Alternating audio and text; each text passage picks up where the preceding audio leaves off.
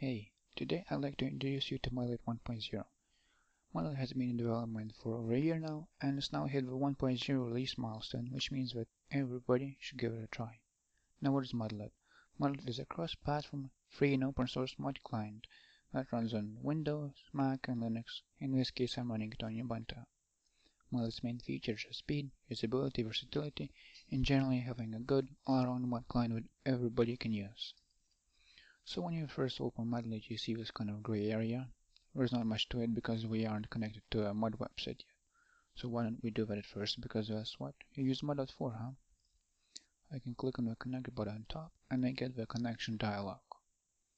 I don't have any profiles created yet except for standard, some standard stock ones that come with Mudlet. So what I'll do is just click on new right here and I have the option to fill in my profile now.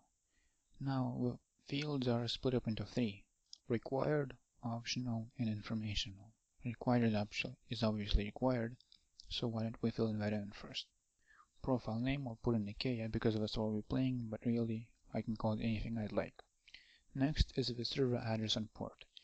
You get this information from your mud website. In my case, it will be achaea.com port 23. Next is the optional field. You can see I can put in my character name, password, and it has an auto connect option. I would like to use auto connect, so what I'll do is I'll put in my character name, then I'll put in my character password, and I'll tick the auto connect on start button. Then I click connect, and voila, it connected and it logged me in automatically. Now, if at first when you start Mudlet and you connect to Mud and you see that the text quality isn't all that you'd like it to be, you can fix this by enabling anti-aliasing.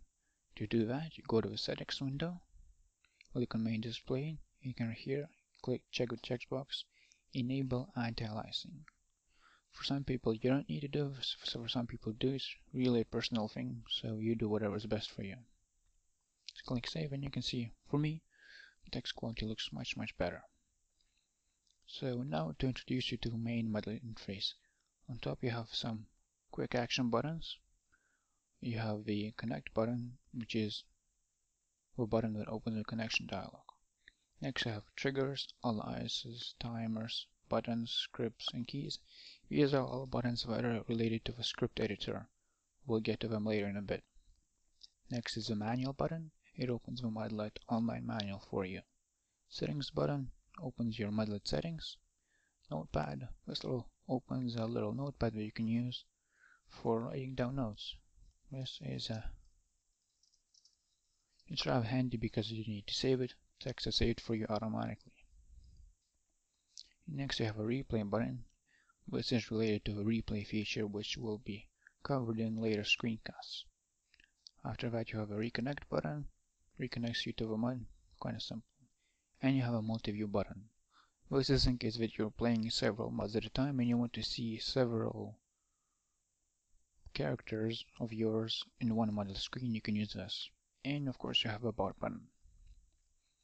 So next you see the main window. This is where you see all the text from the mud. Main window does support color and it's also really really fast. We've optimized it to be very efficient such that in case of a RAID where you're getting hundreds of lines per second, the Mudlet client will not lag down. It'll still display everything as it's coming in. So it's quite handy to have.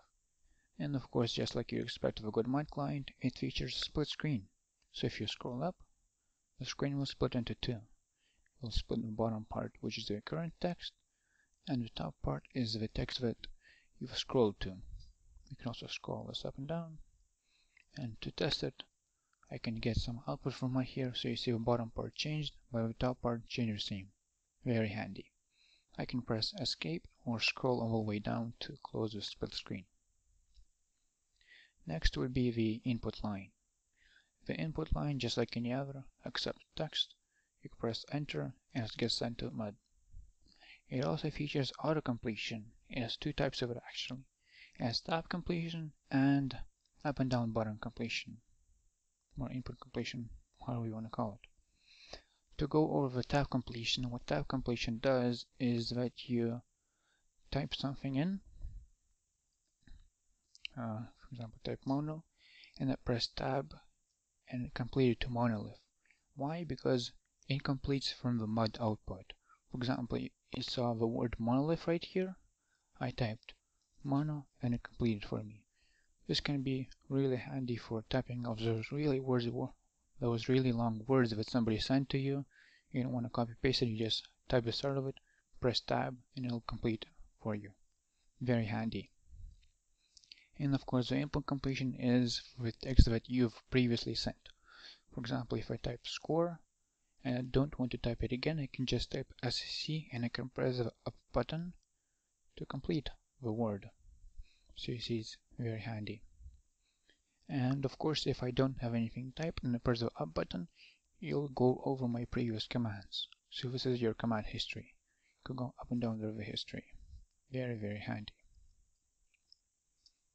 After this we have the several buttons that do some important stuff. That's why they're here. First one is the timestamps button. You click on it and it'll display the timestamps timestamp format is hours minutes seconds and milliseconds you can press it again to disable that next two buttons are to record a replay and to record logging we'll get to that later but one button that you should always know about is this little button that looks like a bomb. It's called the emergency stop button. In case your system that you've coded suddenly gets into an infinite loop and starts spamming everybody in your mud, you want to press this button right away. It'll stop all your triggers right away, very quickly, and you'll stop the spam. So next let's go into our script editor and create some basic things that you need for any mud playing. At first, let's create a new trigger. After you open the script editor, you see two panels. You have buttons on the top and you have the filtering buttons on the right. Filtering buttons, they filter your system depending on the type. So you can see I can, if I click this, I'll see all triggers. If I click this, I'll see all aliases. At first I want to create a new trigger, so I click on triggers and I click on add item. Ta-da, we've created a brand new trigger. Uh, for trigger name, this is a field that you can just use to uniquely identify your trigger. If you want to find it sometime later, put in anything want here. Mudlet doesn't care you put in. So if I want to name it my first trigger, it'll be fine with that. Next to the send plain text field, which is really handy if you want to create a simple trigger which we'll do right now. For example, let's make it such that whenever we see the words a massive gatehouse, we send hello. We can use this simple send plain text for that. I can send say hello. Now we need to give a trigger pattern, which is something that the trigger should be looking for in the text for it to match. So I paste our pattern right here. For pattern type, I select exact match. I'll go with different match types later in later screencasts, but for now we want to do exact match, which means that the text coming from the mud has to exactly match our pattern. I can click save. Now you might notice that the trigger first is not activated yet. You can press the activate button and now it's activated and working. So I just type QL again.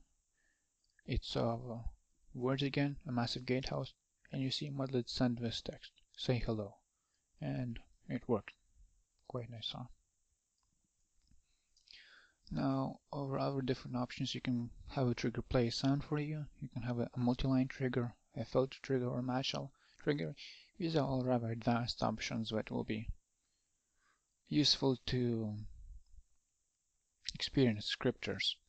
But an easy thing you can do is colorize the text with this little option color the trigger. I enable it and I can select the foreground